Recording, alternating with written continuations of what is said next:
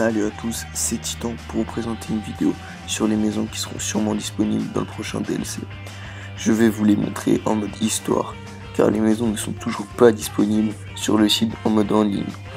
Ils y seront sûrement bientôt. Donc, je vais vous laisser pour la fin de la vidéo. Abonnez-vous, likez et salut.